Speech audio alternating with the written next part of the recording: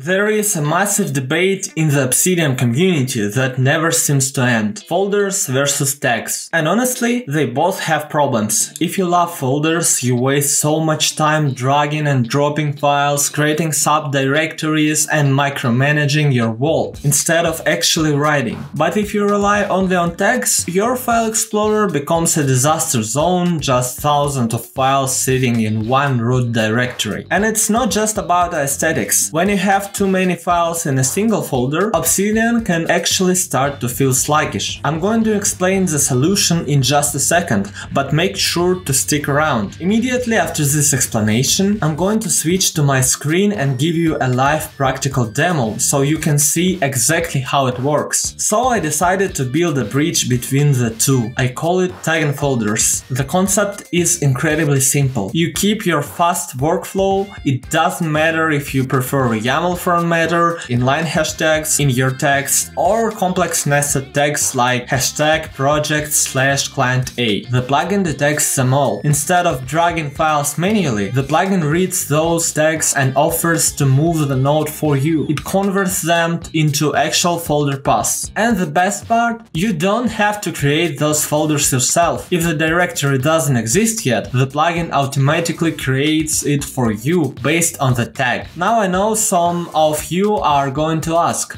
can it do the reverse? Can I drag a file into a folder and have it automatically add the tag? That is definitely the plan for the future. But I want to be super clear, that function does not exist yet. Right now, in version 1, we are focusing strictly on moving files based on their tags. Now, why would you want this? Anyone who is just tired of the mess. If you want a clean sidebar where you can collapse folders and focus on specific topics without manually maintaining the structure every single day, this plugin is going to save you a lot of headaches. If you have a node with multiple tags, say both hashtag work and hashtag priority, the plugin doesn't just guess and move it randomly. It actually opens a dialog and lets you choose exactly which tag folder you want that file to live in. You pick the destination and then the plugin handles the move. Oh, and one fun fact. I wrote 100% of the code for this plugin using Claude Code. And let me show you how my plugin works. To access my plugin, just type Command P or Control P if you use Windows, type tag and folders, and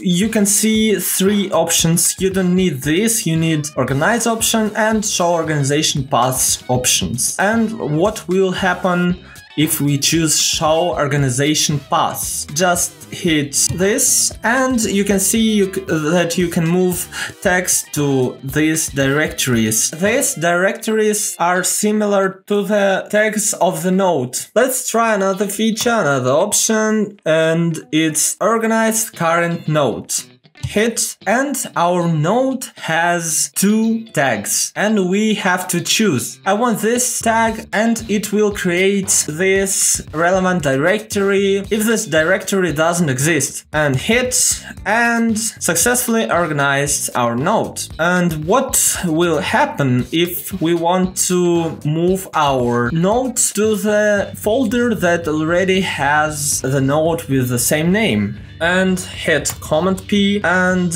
organize current node. Hit active and we have file conflict dialog. We can see existing file in this directory and file being organized. We can see size, date and format. And we can choose the resolution options. Uh, you can rename file, it's recommended. We will see it later. You can just skip operation and you will see that our organization is failed. We can try another feature. You can just replace existing file, but it's destructive feature, destructive option. Uh, the existing file will be permanently lost and we don't want it. We can just move to subfolder. It's safe and apply. And we can see the node that already exists here and we can see our node that we moved in the conflicts folder. And let's see another method. You can choose the recommended option, rename file. How you can rename your file. You just scroll down, you can see new file name. Let's just type text 2 and we can see the resolution preview. Apply and here you have it, you can see that our node moved with a new name. And what will happen if our node has only one tag? It's not two tags or 10 tags, it's just one tag what will happen? Let's hit Command P, organize current node, and our plugin will move this node automatically. You will not have to choose where you want to move this node because it just has only one tag. And how to install my plugin? You will not find my plugin in the community plugins section. And as you can see, there are five plugins, but there is no our plugin. So how to install my plugin? Firstly, you just go to community plugins, type Brat and my plugin already installed. Okay, just hit Ctrl P or Command P and uh, type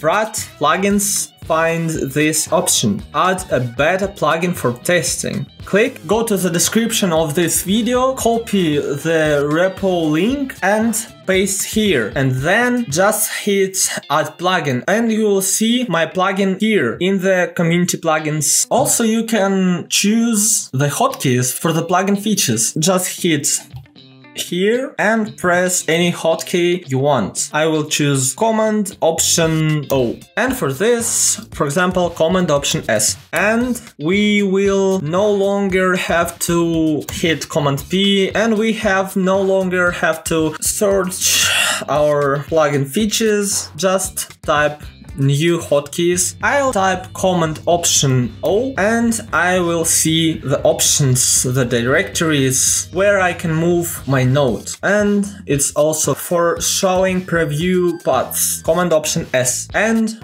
you can see the preview. As I mentioned, this is just the beginning. Once we've battle tested this manual version together, I have big plans for the next update. I want to add full automation so your nodes move instantly the moment you save them, and batch processing, so you can reorganize hundreds of old nodes with a single click. But to get there, I need your feedback. If you want to try it out, the link to the GitHub repo is right there in the description. You can install it manually or use the Brat plugin. Give it a shot, let me know what breaks, and tell me in the comments what features you want to see in version 2.